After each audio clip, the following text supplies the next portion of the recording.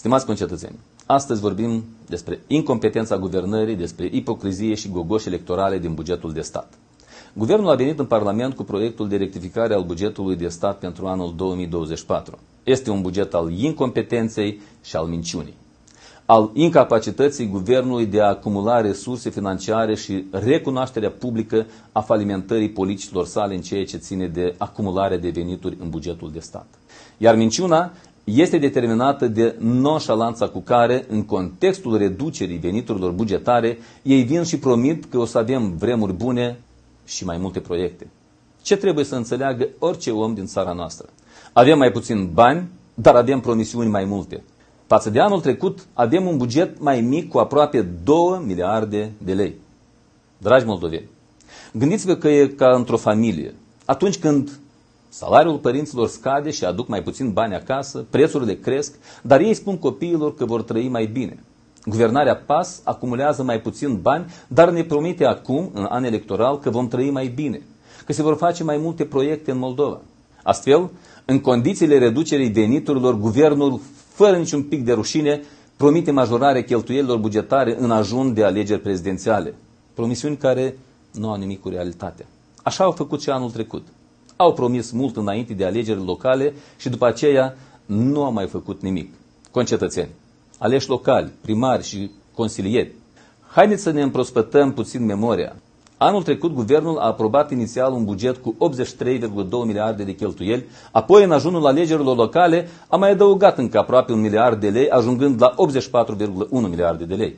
Exact ca și în acest an, doar că nimeni apoi nu a mai analizat cum guvernarea nu și-a mai onorat obligațiile și promisiunile făcute în campania electorală. În final, bugetul a fost executat la nivelul de 80,7 miliarde de lei, cu 3,4 miliarde de lei mai puțin. Dacă ai bani, de ce nu reușești să-i cheltui? pentru că nimeni nu vrea să lucreze cu tine, pentru că tinerii pleacă, pentru că mediul privat nu are încredere în tine, pentru că, stimați guvernanți PAS, sunteți incompetenți. Cine a răspuns? Cine răspunde pentru eșecurile voastre? De suferit, suferă oamenii. În patru ani, guvernul a venit cu bugete umflate și nerealizate în volum total de 13,6 miliarde de lei. Oameni dragi, ei au promis alocarea 13,6 miliarde de lei pentru agricultori, pentru investiții, pentru proiecte de infrastructură, bani care niciodată nu au mai fost alocați și nici nu vor mai fi alocați. În patru ani de guvernare PAS am fost mințiți de 13,6 miliarde de lei.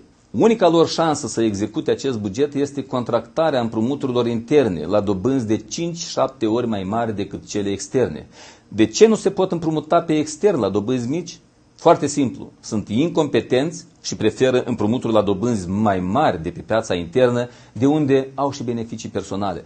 Despre capacitatea de a atrage granturi și investiții nici nu mai vorbim.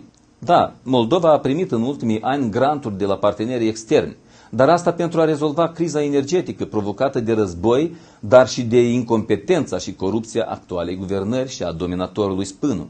În afară de banii veniți pentru criza energetică, acest guvern aproape că nu a reușit nimic în ceea ce privește atragerea granturilor externe.